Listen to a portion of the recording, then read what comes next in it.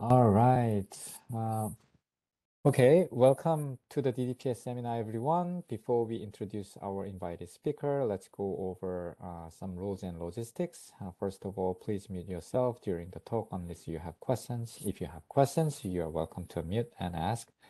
Uh, otherwise, please use chat room to post your questions so that we can address them in Q&A session at the end. Second, today's DDPS seminar is open to external audiences. Therefore, no classified discussion is allowed, so please watch out. Finally, the talk today will be recorded and uploaded in our YouTube channel. That's about it. Now, let me introduce our speaker today. It is an honor to host uh, Jan Drgona, who is a senior data scientist and the principal investigator in the physics and computational science uh, division at uh, PNNL. Uh, Jan has a PhD in control engineering from the Slovak University of Technology in Bratislava, Slovakia. And before joining PNNL, he was a postdoc at the Mechanical Engineering Department at KU Leuven in Belgium. His current research is fo focused on differential differentiable programming for scientific machine learning constraint optimization and model-based optimal control with applications in the energy sector, including building uh, control and power systems optimization. Today, Jan will talk about differentiable uh, differential uh, programming for modeling and control of dynamical systems, which is very interesting topic. So please enjoy. Uh, now, without further ado, uh, let me pass the baton to Jan by asking one random question. As usual, today's random question is, uh, what is the most beautiful place you have uh, ever seen? That's very, very difficult to answer, but uh, I will be a little bit territorial right now in Washington State, and I really fall in love with Washington State because of the mountains such as Mount Rainier and untouched nature glaciers, cascades.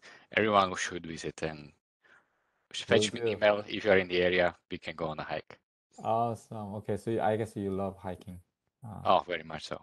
Nature right. is the best place to stay. I totally agree. All right. Okay, stage is yours. Yeah. Thank you very much, Yongsho, for this wonderful um, introduction and uh, also unexpected random question. And uh, for for having me it's a really great honor to um, be invited to, to, as a speaker to this uh, seminar which i was following uh, throughout the year with great content. Uh, today i want to present the perspective of the broader team at pnl which uh, is consisting of people from deep learning background power system background aerospace, uh, electrical engineering, control engineering that is working together on developing differential programming methods for modeling and control of dynamic systems uh, with uh, the first challenge being system modeling. Simulations are crucial for many areas of decision making and scientific discovery, and national labs in general are uh, primed to develop large scale, high fidelity simulation models and data-driven models for complex engineering systems such as power system networks, building energy systems, or or unmanned vehicles uh, for underwater uh, measurements. And there is a need to improve the computational efficiency and scalability of heterogeneous scientific simulations. Classically, you are solving uh, physics-based models with numerical methods, but recently there is a new trend of bringing more machine learning in, in place and replacing iterative solvers with neural networks and a lot of new exciting uh, area of, research of uh, hybrid architectures with physics informed uh, neural networks or machine learning. In our team, we are on on the track of objectives of developing domain agnostic software tools and algorithmic frameworks that could combine these scientific computing methods with data science models and uh, be supported by high performance computing available at national labs. There are a lot of applications in optimization modeling of dynamic systems, uh, such as optimal control. In general, there are like two branches of control, model-based and model-free. A flagship of model-based control is called model predictive control. And there is a this statement from the Richard Murray from Caltech uh, textbook on optimal control that says 95% of industrial control applications are PID control loops or proportional integral derivative controllers. There are just three parameters, very simple, single input, single output controllers. The rest is model predictive control. Why, why such a success of model-based approaches in industry, such as process control, automotive, aerospace, or high-performance robotics? Because the safety is number one. Performance in terms of the economical performance uh, or, or time is number two. Um, and typically, these systems can be approximated by relatively lower order dynamical system models like differential equations or state space models. And you can have reliable prior knowledge to build these physics-based models. And you have typically budget to employ army of PhDs to write down your differential equations, constraint optimization problems, or solve these problems uh, with modern numerical methods. On the other hand, when you don't know the underlying physics or it's too expensive to obtain, like for large power system networks, we need to do something else.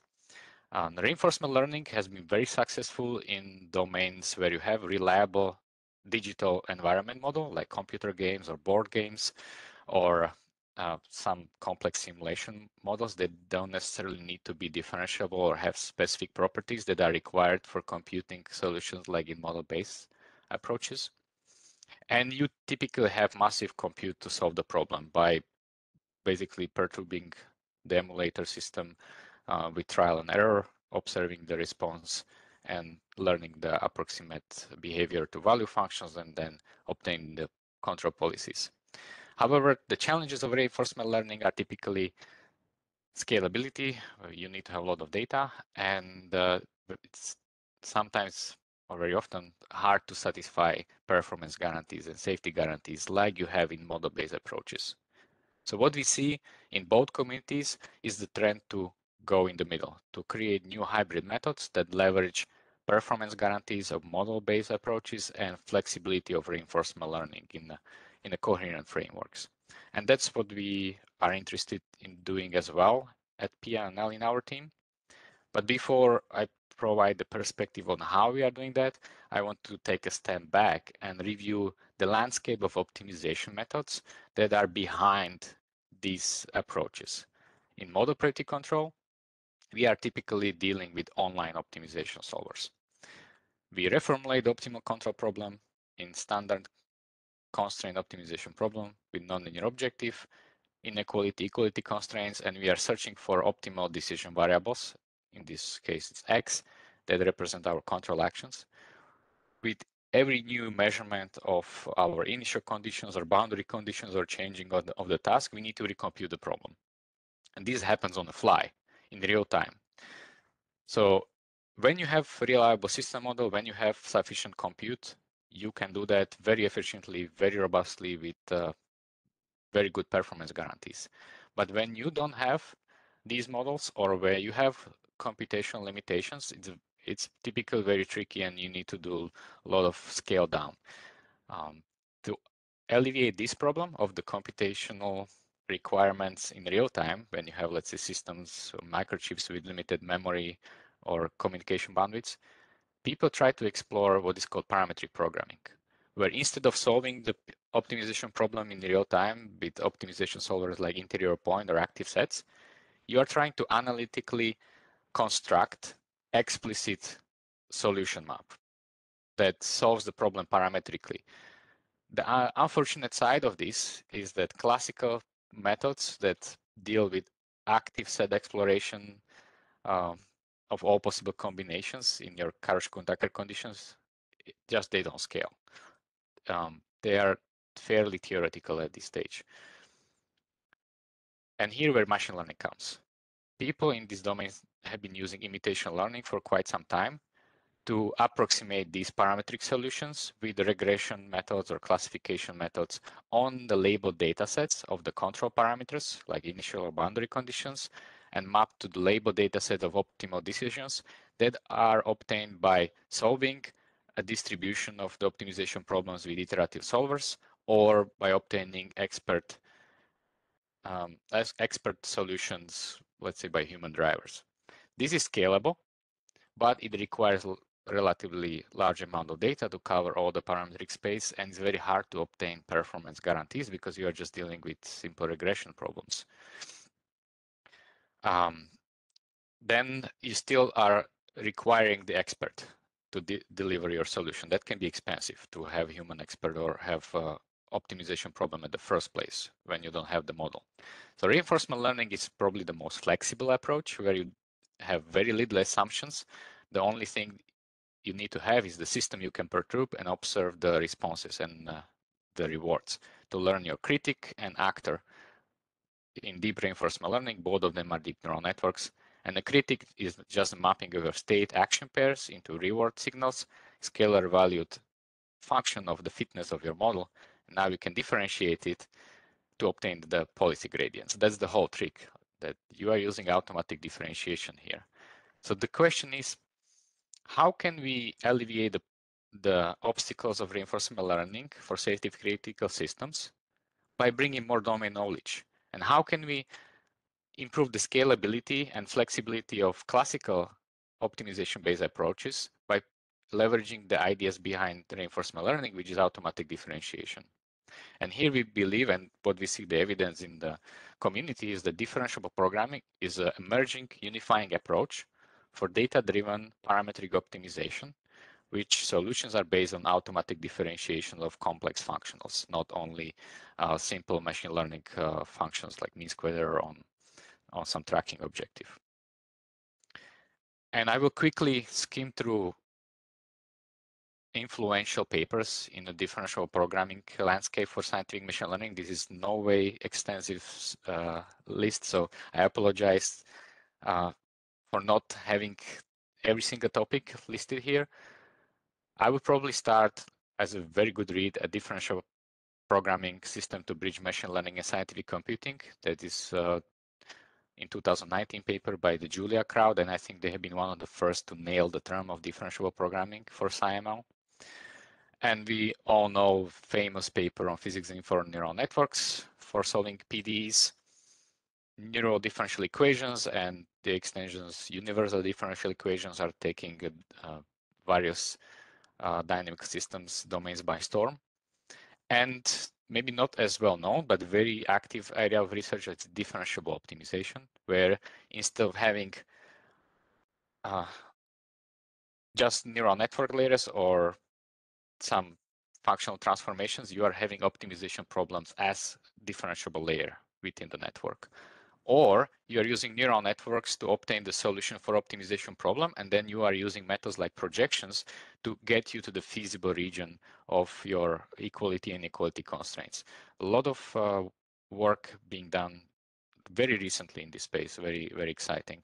And now similar ideas can be used for control because model predictive control especially can be reformulated as a constraint optimization problem where you need to satisfy your dynamical constraints that can be represented by your neural differential or differential equations. And your feasible region can be represented by some polytopic constraints. So we see a lot of similarities uh, in these domains and we are building on the top of uh, these giants.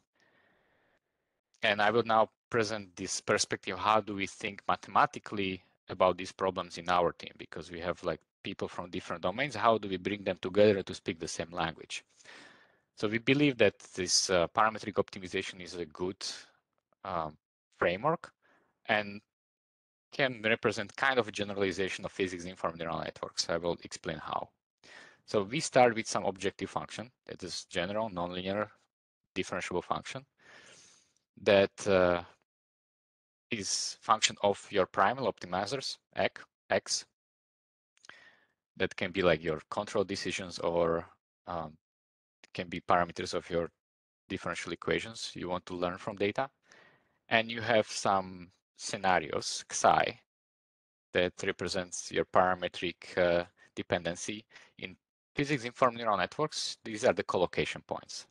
Yeah, you would sample your uh, domain space in order to obtain the inputs you are going to propagate through neural network that needs to satisfy the PDE equation residuals. But in this case, we are having general inequality equality constraints that needs to be satisfied. And we ha have the solution map that may or may not be neural network that is mapping the parameters to the primal optimizers. Uh, that is parameterized by the theta, which is actually the variable you want to optimize in this overall parametric problem. So if you would deal this in a classical sense, you would need to pick one instance of the parameter, fix the problem, and uh, call iterative solver. This can be very costly when you have thousands of parameters and you want to solve this parametrically over the whole domain. Another way is to do it is like in similar inspired by physics for neural networks. You reformulate the problem in a Lagrangian form where you put your equalities and inequalities as penalties, weighted penalties in your Lagrangian uh, objective function that now boils down to scalar value function that is taking basically expect, expected value over the samples of your collocation points or pair parameters. And now we have differentiable scalar value function that is amenable for gradient-based optimization with automatic differentiation. So you can backpropagate the sensitivities of this objective function with constraint penalties to obtain the gradients of this differentiable function, be the deep neural network that will approximate the solution of this constraint optimization problem. By the way, if there are any questions, feel free to uh, stop me and ask uh, for clarification, notation, or anything that might come to mind. Okay, so how do we solve these problems? Uh, there are different approaches in the literature. In our team, we found out there are no robust toolboxes, so we needed to code everything ourselves. Uh, but other teams are starting to emerge who, who are working on similar uh, similar directions. So this is very exciting time to be uh, in this research area. What we do here, we call differential parametric programming because we solve parametric programming problems with automatic differentiation. And we are developing PyTorch-based toolbox. It's basically set of classes and, uh, and functions on the top of PyTorch functionality, which we call Neuromancer. That's why the background, which we which, which stands for neural modules with adaptive nonlinear constraints and efficient regularizations. Essentially, it allows us to formulate these type of problems where you have constraints, nonlinear objectives, and when you want to train neural network to satisfy these objectives and constraints given some data sets. Uh, inspiration has been taken from constraint optimization frameworks like CVXPy, PyOmo in Python, or JuMP in Julia, YALMIP in MATLAB, that all are based on symbolic abstractions. Like you have variable class, that's the basic primitive in these frameworks, and you can now symbolically construct computational graph on these variables.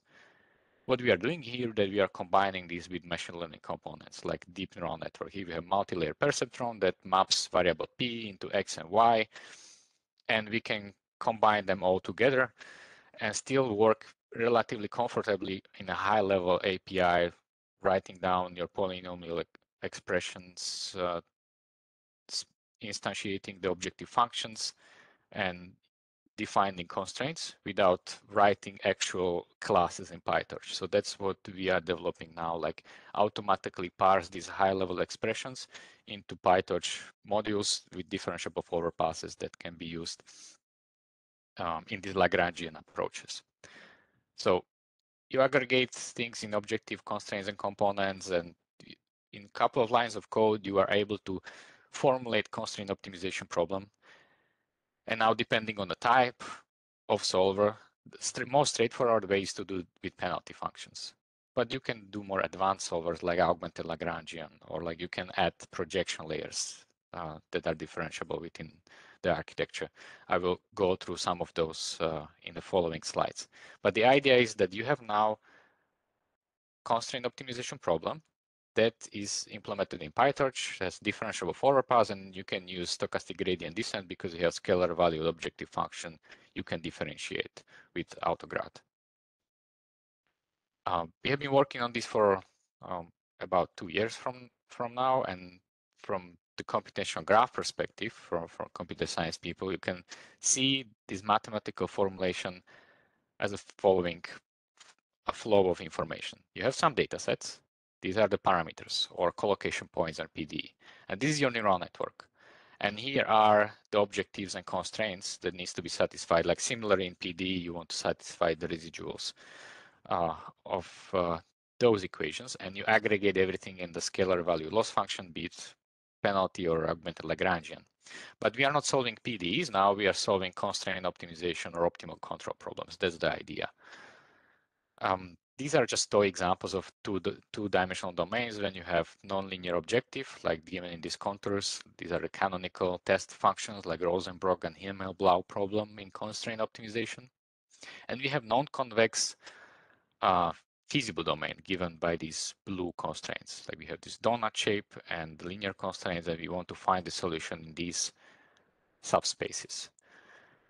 Um, what we found out that we can get orders of magnitude faster online solution compared to iterative solvers like interior point because for each new variation in, in your problem when you shift your constraints or you tweak your objective function you would need to recompute the problem.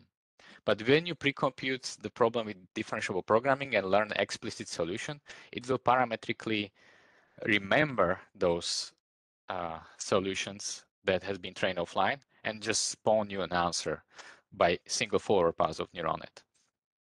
We are getting somewhat close to optimal solutions of these iterative solvers in this green, this is interior point, and the red is this differentiable programming approach. It's still approximation. It's not like hard constraint guarantees or hard uh, satisfaction of the uh, optimality gap. But uh, we found it still like very intriguing to follow up because we can get a lot of orders of magnitude speed up. And even if you have suboptimal solution, for some application, this can be game changer whether we can actually use it or not. Uh, in the following, I want to focus on actual architecture of this computational graph. These don't necessarily need to be fully connected neural networks. It can be any differentiable function. Um, for dynamic systems in particular, people have been using neural state space models. They can come in different shapes and, and forms. In classical control theory, people love to use linear state space models. And there are different variations when you add non-linearities in different parts, like this input dynamics, this is state dynamics, and this is your observable function. Uh, recently, Koopman operators are very popular. Here we are just listing different architectures you can embed as a computation graph. And when you replace the neural network here with neural ordinary differential equations, then with iterative solver, then you have neural ODE you can go even deeper, embed domain knowledge not only through architecture of these recurrences, you can also domain, you can embed domain knowledge in the black box components. Let's say you have neural network, but you know something about your system, especially about its eigenvalues, about the sparsity of the topology of the network. Uh, you can use bunch of linear algebra priors that can help you to bound the singular values of the overall nonlinear transformation. Here we are showing just two examples of what we, what we call here spectral map and Perron-Frobenius map, where on the left-hand side, you instead of training weights of neural network, black box way, you are factorizing them in the singular value fashion.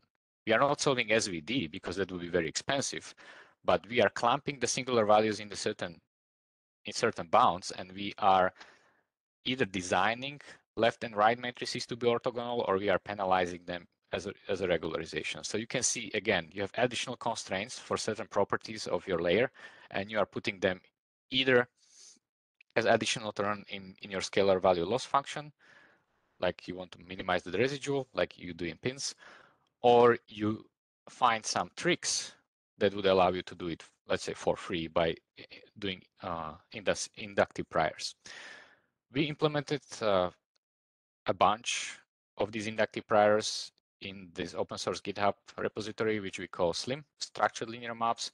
It's just nothing else, just checking linear algebra, writing the forward passes of, of those in, in PyTorch and using them instead of weights um, I, as a drop-in replacement. So for any practitioner in PyTorch, feel free to uh, test them out by, by yourself and I would be happy to receive any feedback or like potential suggestions for expansion. So that's more from, from methodological and like theoretical perspective. What about practical problems um, where we can use these domain priors? One of them is modeling thermodynamics of building energy systems, which you can represent as a multi-dimensional dynamic system. Under the hood is a partial differential equation that typically in domain sciences is discretized into different collocation points. and you have set of ordinary differential equations that you can linearize and solve with, uh, with iterative solvers. Um, this can be very labor intensive. Uh, it takes months very often to design these type of physics-based models for a single building of single system. That's not rentable. That's not uh, scalable for large scale applications and for for any like uh, monetary return of investment. But we can use machine learning and domain knowledge and combine them together to learn these dynamic systems from small amount of data if we if we do it right. For instance, we can decompose the problem into different uh, different dynamical modules. Like you have this abstract high-level computational graph of your building model structure, where building envelope represents your walls and ceilings, basically the heat transfer to the structure. And uh, we know something about it. We know it's dissipative. What does it mean? That it wants to get to the thermal equilibrium with the environment. So it's dynamically stable.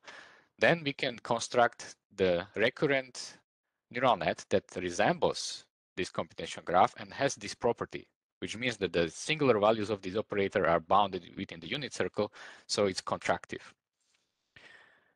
Uh, we can also know, we also know that these heating, ventilation, air conditioning systems will represent the input to the building envelope delivering the heat are also bounded in certain physical space and we can use like methods through clamping or projections into certain uh, state space of of that operator. So everything now is combined together. It's no longer universal approximator. It has a lot of domain priors where the potential uh, state space that it can uh, can capture is limited, but it's limited uh, in a good way.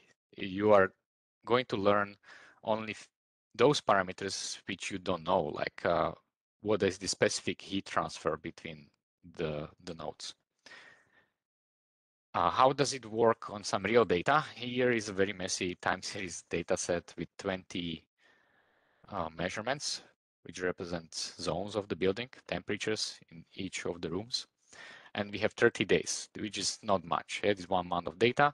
And we split these in three class in, in three components. Like we first have data set for training, 10 days. Second 10 days we have for validation, which is selecting the best model, and the last 10 days for testing the performance.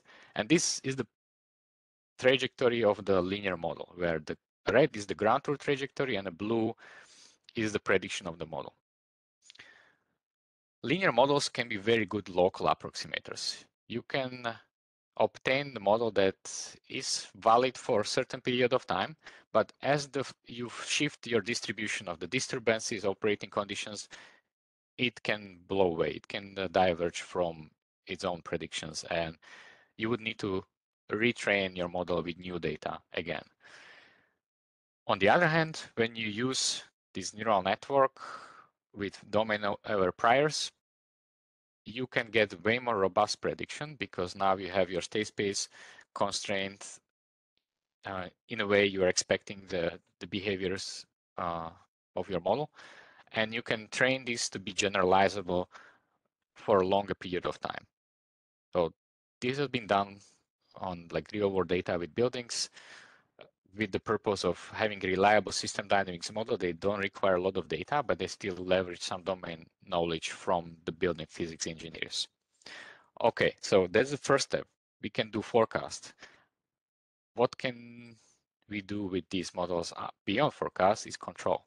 But how do we do control with these complex computational graphs that are no longer fitting the frameworks of classical control where you need to have either state space model or differential equation. Now we have more complicated nonlinear transformations in place that are just not supported with uh, numerical solvers uh, from the classical domain.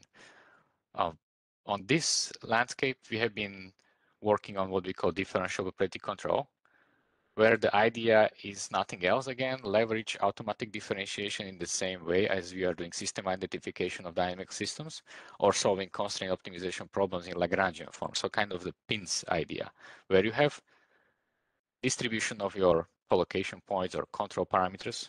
These are the features that you propagate through the computation graph that is consisting of the control policy and system dynamics model. This is a closed loop system. And now you see the resemblance with reinforcement learning for those people who are working in this, that space. You have actor and you have your system model, but the system model is not outside of your differentiable computational graph. It's a part of it. Now we can differentiate through the model because you have learned these differentiable transformations. This allows you to build model-based value functions. You don't need to have black box neural network to represent your value function. Now you can embed prior knowledge uh, by doing reference tracking, parametric equations, or doing penalties on constraints, and you don't need to approximate that part. So we have been working on this for, for last two years, and I will show you example of this hello world in control theory, a stabilized, unstable double integrator with this parametric objective function for tracking the references for state space and uh, minimizing the energy used while satisfying the boundary conditions for your control actions. Mathematically, you can formulate, formulate this as a parametric uh, optimal control problem where you are minimizing the scalar value loss function over the expectation of the sampled uh, parametric scenarios or collocation points in your in your parametric space over the performance objective penalties on the state and control actions subject to these recurrent e equality constraints that represents your dynamic system. In this case, it's simple linear system, but it could be differential equation. It could be neural differential equation anything that can approximate the behavior of a dynamic system. And we have this neural network that is mapping the state space and the parametric space, like uh, changing inequality constraints into control actions. And you can formulate this as a this nice computational graph that propagates the collocation points through the control policy system dynamics model, and you impose constraints on control actions, a response of the dynamics model that is unrolled over several steps ahead into the future in the model predictive control fashion. And then you have this scalar valued loss function that aggregates all together. And because every single component is differentiable, now you can compute the sensitivities with calling um, backward pass and applying simple chain rule. And this will allow you to propagate the sensitivities back to the control policy to obtain direct policy gradients. It's a very same idea that you would use in reinforcement learning, where you have your actor, that's the policy, and then you have your value function, that's, that's your critic. But the critic is like basically approximating all of these components. This is just taking step back from engineering perspective. Let's decompose the critic into system dynamics, control objective, control constraints, and put them all together in weighted objective functions. How does it work in training? We found out uh, if the problem is well posed, it can train very fast. In under 100 epochs, we can stabilize this system. Uh, you can see the trajectories on the left-hand side and policy landscape on the right-hand side. And it can train very fast without too much of the compute and a massive amount of data because you don't need to approximate the reward function or the value function. It's already embedded through physics knowledge. Okay, what happens when we don't have perfect physics knowledge of the system dynamic model or we need to train it from, from uncertain data? We have been working on extension to stochastic dynamical systems. Again, this is uh, hello world example with uh, linear systems perturbed by some distributions. Uh, technically, the idea is very simple. You are just adding orthogonally one more dimension to sample. And these are the uncertainties. So alongside the parameters, you are sampling also uncertainties and you are training the control policies to, to control the system, like in this case, stabilize to the reference or do the obstacle avoidance with uh, nonlinear constraints subject to changing parameters like positions or shape of the obstacle and varying signals of your perturbations that are sampled from some assumed distributions. This works surprisingly well without much change of the code. There are a couple of lines you add, um, but you pay the cost of having more collocation points and it becomes a little bit more expensive offline. So is open research like what is the right way of sampling your parametric space? Uh, where do you need to sample? Like maybe on the decision boundaries of your constraints, you would need to have more sam denser sampling, and in the, in the interior of your feasible region, you need less uh, dense sampling. And there are similar ideas in physics-informed neural networks uh, that use, like let's say, optimal transfer for answering the question. So uh, I leave it here as an open question. Um, second important topic we are working on is how do we provide some kind of robustness and stability guarantees for this type of learning based uh, controllers. Because everything is approximate you always get to the solution with some uh, numerical uh, threshold. There will be always some residuals but sometimes in real world applications the residuals can be difference between failing and succeeding, but the failure can have high implication. You can break the system and it would be very costly or even like uh, endangering human life. So from this perspective, there are some ideas in the literature leveraging Lyapunov functions, differentiable Lyapunov functions. Lyapunov is nothing else, there's some kind of energy function that is uh, positive definite, has trivial null space, and basically is uh, if you follow the trajectories alongside this landscape, it will always converge you to the fixed point equilibria. This is the phase space of two-dimensional uh, dynamic system governing by the Lyapunov function over this closed loop dynamics. So what we have been doing that we can learn these Lyapunov functions even if we don't know them beforehand. There are some papers that show how to design these Lyapunov functions with hard guarantees on these properties and uh, certify closed loop dynamic systems to be converging to fixed point. So we plug them in, in the closed loop dynamics and train them offline alongside with control policies. And then in, in the real time, we can use them as certif certificates that in certain state space, we are converging. We can even use them as uh, in the projections to correct our control actions if they will be diverging from from that certified state space. For more details, uh, please, uh, you can see our papers. Uh, and I will skip to the second topic, which is exactly in the same area of safety that is dealing with control barrier functions. The Lyapunov functions are basically positive definite. They want to push you, your energy towards the origin, while the control barrier functions, uh, you can think of them as uh, another form of energy functions that are informing you whether you are uh, inside your feasible region of your constraints and if you are approaching to the constraint boundary you can trigger some behavior like uh, trigger corrective control to keep you inside.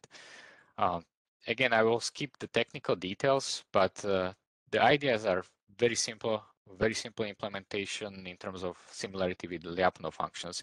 You just uh, formulate your control barrier function either based on prior knowledge of your system or there are some papers that learn control barrier functions from data. And these barrier functions will give you indicator of uh, the constraint satisfaction that can be uh, penalized during training. So you are like enforcing your control system to satisfy constraints offline. And then upon deployment, they can also learn as indicators for doing switching behavior. When you are approaching the safety boundary, you are going to switch to some backup controller to push you back to the feasible region. Again, details are in those papers. Both of them has been accepted for conference and decision control. There are our recent works on safety, more from control theoretic perspective and how do we uh, develop these methods from implementation perspective. But once we have the landscape of tools, our primary objective as a national lab is to implement them in real world engineering systems, such as building energy efficient control. Uh, here we have simulation model of a residential building that uh, we assume that we have only time series data and some prior knowledge. So we measure the temperatures, the behavior of the control system, and we learn the surrogate model, the digital twin with this physics constrained recurrent model that we can then plug in in a closed loop dynamic system that represents parametric optimal control. And because we implement everything as a differentiable component, we can obtain these scalar valued functions that are fully model based and provide us with policy gradients of a neural network that can satisfy state constraints, action constraints for this higher dimensional state um, state space with time varying constraints. So you can think of it as a as a control task with varying control objectives. Yeah, it's a parametric objective. Um, so example of application what we done like a year ago was uh, this multi-zone building control. And the generality of the approach allows us to just change the system and use the same code base uh, to tackle, let's say, economic dispatch problem, where instead of the building, now we have power system network.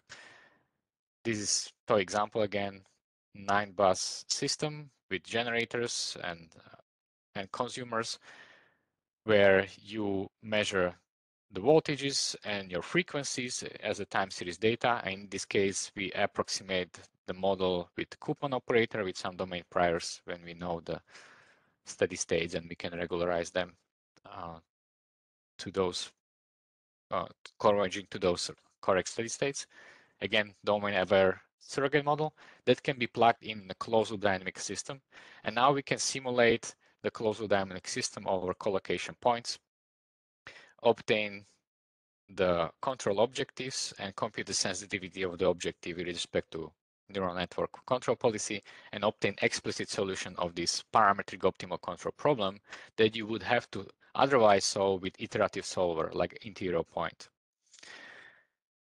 This can be very expensive, especially when you are dealing with larger scale systems uh, that can take minutes up to hours to compute your solution. This means that you cannot use your real-time control in practice. You can only use it for analytics afterwards. And that's the, the current bottleneck of uh, classical control approaches. But when we pre-compute the solution offline with these differentiable approaches, we can obtain five orders of magnitude speed up in real time because we don't need to solve differential algebraic equation solver and interior point solver in real time, like in, we do in model-based approaches. So this particular case gave us five orders of magnitude speed up, which is the difference between using the approach as only analytical or actually deploying it and using it in real time, controlling the, the power network. And we also found that the solution quality was not uh, lost too much. Like these are like um, um, generate uh, the voltage generators from interior point they are solid lines and dashed lines are from the differential programming approach. So of course you are not nailing optimal solution, but you are getting suboptimal solution that is very close and satisfactory in terms of constraint satisfaction. And, and most importantly, actually within your uh, communication bandwidth and, and sampling rate that you can use as a real-time control. The last slide on applications, uh, I'm showing Verito example that can serve as a proof of concept for software or control as a service. This work was done in collaboration with our colleagues uh, from University of uh, Slovak University of Technology in Bratislava. And they have this very toy laboratory device when they have ball floating in uh, the tube that is controlled by a Raspberry Pi controller. What they did, they measured the time series of data of uh, perturbed system, and we did system identification on our hand and used the system ID model in differentiable control setting, train the constraint policy offline, and ship them the control policy to deploy on this uh, real device. And they need to compare this against classical methods like model predictive control. But because of the computational limitations of the microcontroller, they need to sat satisfy memory bandwidth and CPU bandwidth.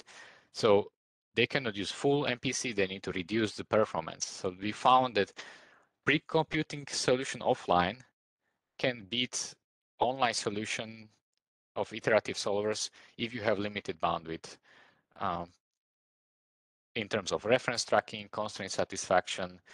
Here we are able to deal with time varying constraints, time varying references that are in conflict often and with heavy um, heavy noise of the measurement uh, variable that was not able to be solved with classical model predictive control because of the large computational demands. But when you pre-compute it with differential programming, and then you have just neural network that you can deploy, and you don't need to solve the optimization problem in real time, this can be, again, a game changer for deploying advanced controls in devices that don't have the compute power at the first hand.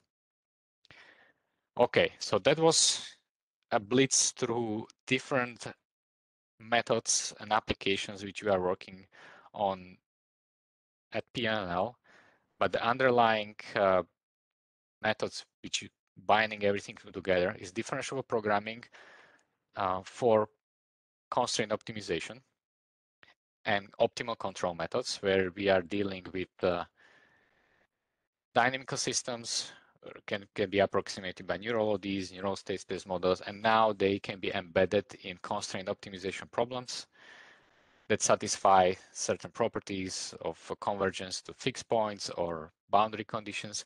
And we have means to transforming those problems into scalar valued objective functions that can be differentiated with modern automatic differentiation frameworks like PyTorch, or you could implement these methods in Julia or or JAX in Python or in Swift.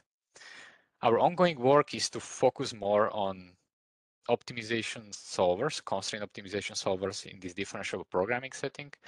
Um, we are working on embedding graph neural networks in the framework because it's very suitable for network dynamic systems like power system networks or building thermal networks. Having some robust uncertainty quantification that would allow you to do smart sampling of your collocation space, another uh, interesting topic. And as a community, we see a lot of different uh, research groups working on using differential programming for things like causal discovery, discovering your uh, underlying equations of the dynamic system, discovering coupling between network dynamic systems, computing sensitivity of complex differentiable graphs, doing stability analysis for machine learning models that would allow you to use in conjunction with classical physics-based principles to solve large-scale parametric constraint optimization and optimal control problems that haven't been uh, feasible with just classical methods before. So we see this as a very exciting time to do research in. Uh, a lot of uh, research being done in uh, other domains and other groups, and we are looking forward for collaboration. So if you are interested in what we are doing at PNNL, please see our GitHub pages. And here I would like to thank you, everyone, for your attention, and thanks to Department of Energy for sponsoring our work. Thank you. Thank you so much for the wonderful talk, Jan. Uh, very interesting talk. Okay, uh, great. Yeah, applause. uh, let's have a uh, the Q&A sessions. Um, if you have any questions, please unmute yourself and uh, um, and ask questions. Uh, let me start with a with a question. Um, if you go to slide 11, um, you mentioned that you know yeah yeah differentiable param parametric oh was it yeah, yeah, exactly. So differentiable parametric programming, um, you compare the performance with the IP of uh, iterative solver, uh, you get the orders of magnitude faster online solution. So I, I was um, not clear about. Okay, so in IPO, you, you could solve these exact formulations, um, you know, you know, the written in, in, in the left-hand side, Mhm. and you do compare the um, um, the performance that way. Yes, so what we are doing here is that uh, we have distributional problems that uh, you can think of this parametric psi uh, as right hand side in your inequal let's say you have equality constraint ax equals b and this psi can be the b vector that is Yeah. changing so you're actually changing your optimization problem if you are about to solve this interior point method. For each new psi you need to resolve the problem again.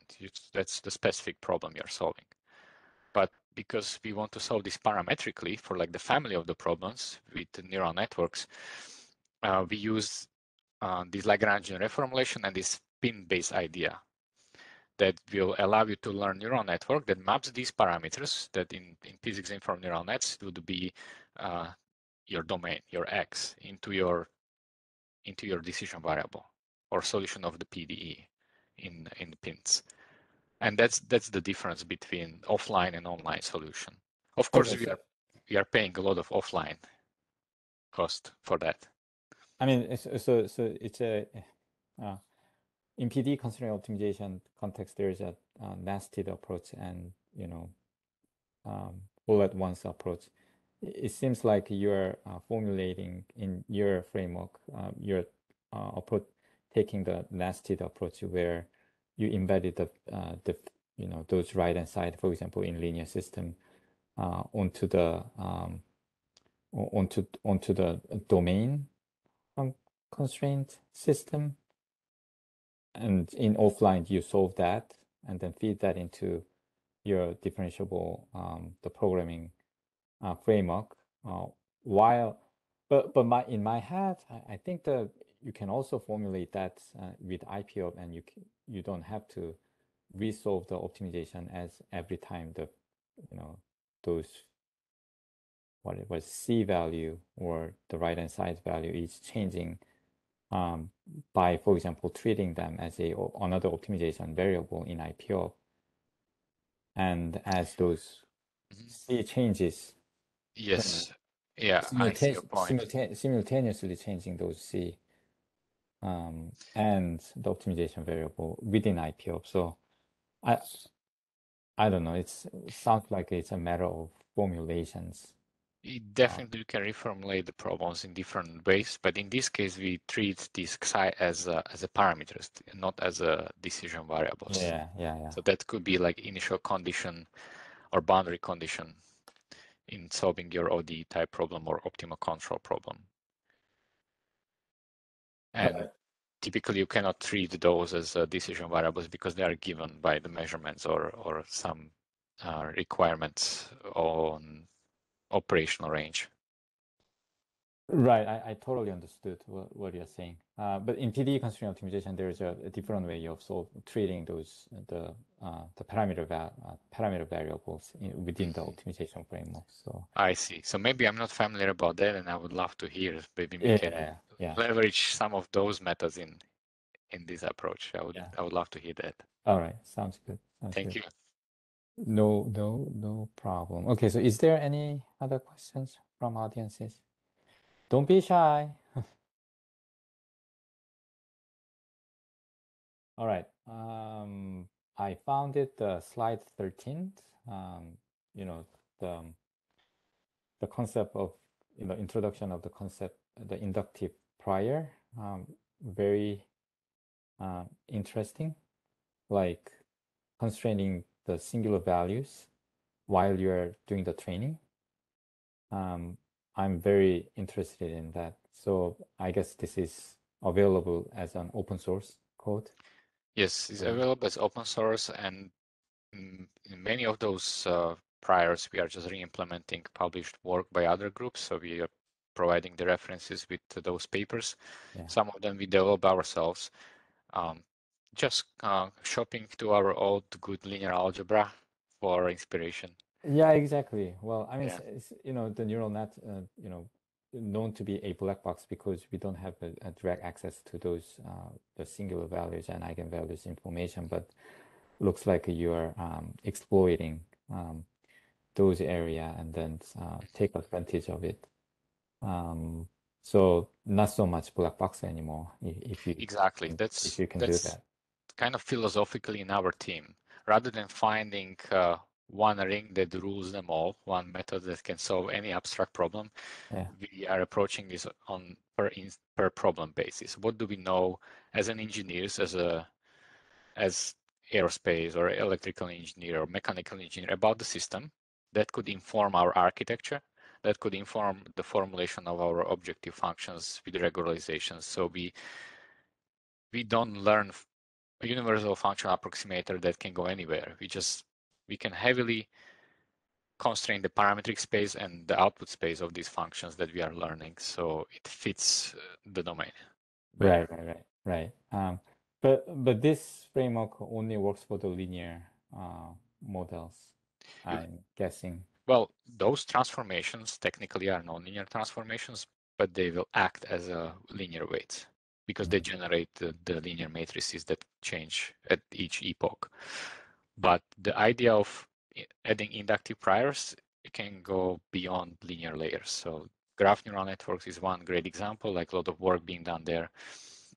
Uh, people use universal differential equations that's coming from Julia crowd, where they combine black box neural networks and known differential equation on the right hand side of the neural ODEs, and we found this as a very powerful uh, concept as well. Nice, nice. All right. I gotta dig into more about that. Um, very interesting. Yeah. All right. Okay. s- Um, so people are shy today. Let's go to I have, slide. I have a question, yeah. Uh, Oh yeah, go ahead. Go ahead, Hi. Mike.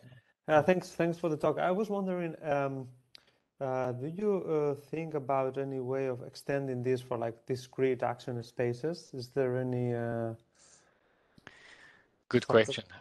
Uh, implementation wise, we already have that, but we didn't have a manpower and time to actually do thorough empirical tests. Uh, but we would welcome any potential collaboration interest in like pushing forward more more applications and expanding uh, the framework method wise. So Mhm. discrete action spaces is our interest, but it's also on kind of uh, midterm agenda is to deal with hybrid dynamic systems when you have uh, state space under switching conditions. mm, There are some early papers that deal with uh, neural hybrid, uh, dif- differentiable hybrid automata, where you have finite state machine that has discrete switches, but in each of the state machine states, you have differential equation. That's very powerful concept, and many engineering systems operate under these switching rules. right, right, right. This big band or band band, right? Uh, controllers, right? Exactly, yeah. Mm. Hello, can I have a quick question? Yeah, go ahead. Uh, yeah, and this is Truong. Very nice talk. Hi, Truong.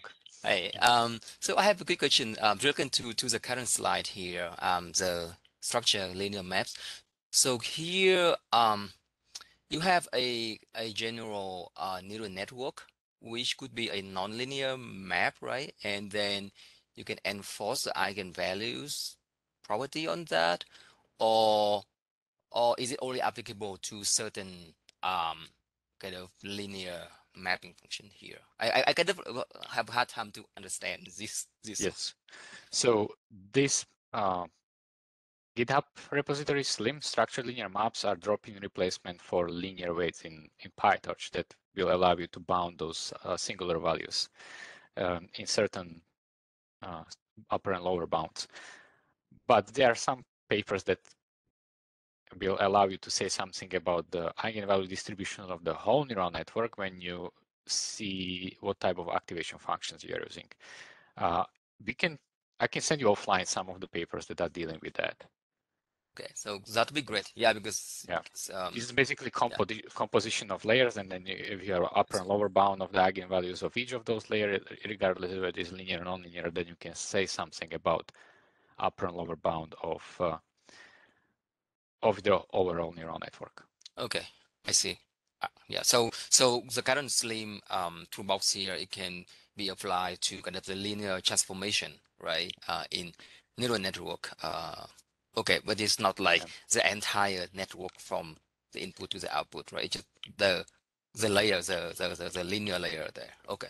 Exactly. It's Okay, a replacement for linear layer, Sure. but you can use it as in composition to bound the eigenvalues of the whole neural network. I see. I see. All right. Thank you so much. Thank you. Very interesting. Okay, any other questions?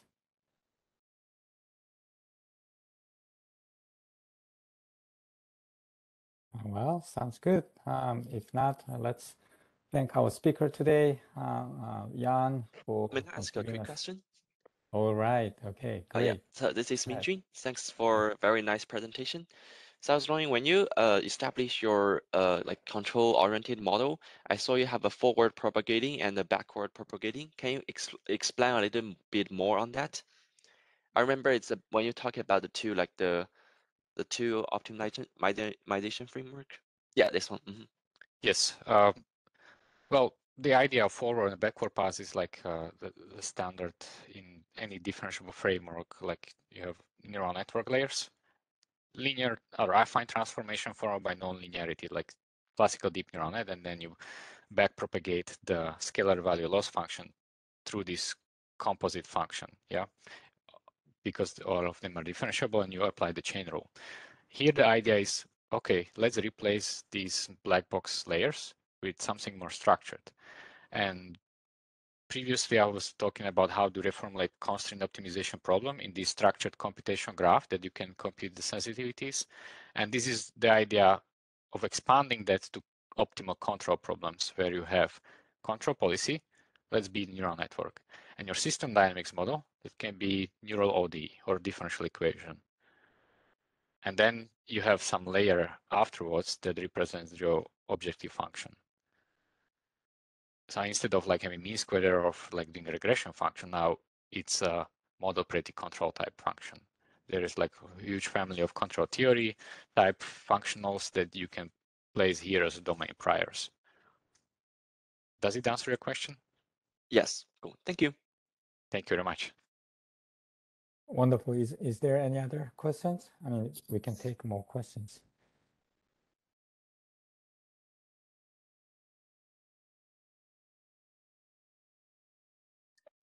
All right. If not, I uh, let's can- thank. Oh, sorry, I was unmuted. Okay, go ahead. Go ahead. Oh, Um, I'll keep going, sure. I have a question, um, and this was a great presentation. Thank you for compiling so many great resources along the way too.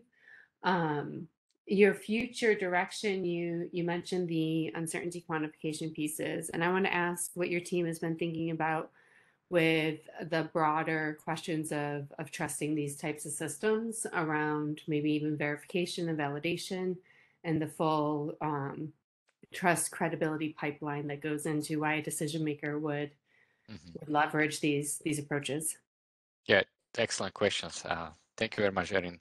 Mhm. So there is like a lot of work being done outside of our team, and I would like to also acknowledge that, like um, maybe in this slide, um, these differentiable optimization layers is one way to do so. Like this differentiable convex optimization, you are embedding your optimization solver as a layer in neural network that has some constraint satisfaction guarantees.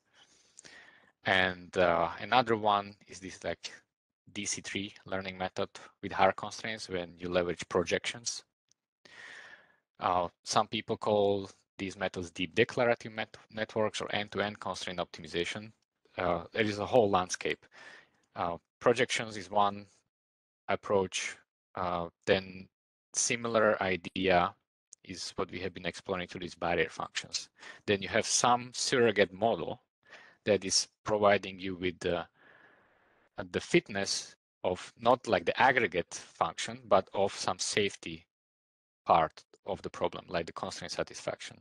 So if you are inside the interior of constraints, you have indicator function that you are safe. But as you are approaching the boundary, you're you are triggering some condition that can trigger corrective action. So there are a lot of uh, technical directions that could be applied here, and I, I just don't know the answer. What is the solution? It it mostly typically depends on the the requirements of the application. Yeah, absolutely. Um, but that's that's very helpful to help um, point back directly to where some of those aspects are are documented. Thank you. I appreciate it. Yeah, and, and I see methods like uh, spawning in literature like day by day. It's a very active area of research. Right. And Right. if you, if you know something that I forgot, please send me email. I Mhm. would very love to hear more ideas. Okay, great. Thank you. Thank you. Wonderful. All right. Um, I guess one more chance. If there is any other questions, please uh, don't be shy. Unmute yourself and ask questions.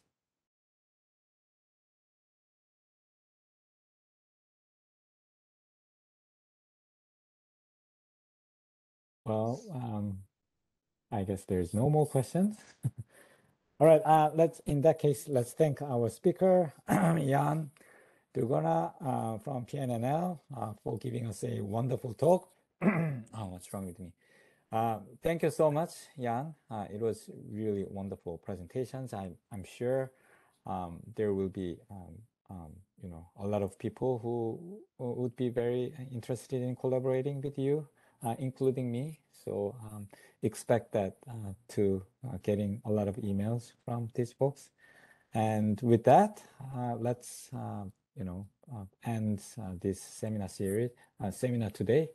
And uh, our DDPS seminar next one is I'm not sure this is next week or two weeks from now. Until then, um, please stay healthy. All right. Thank you, everyone. Thank you very much, everyone. Thank you, Young.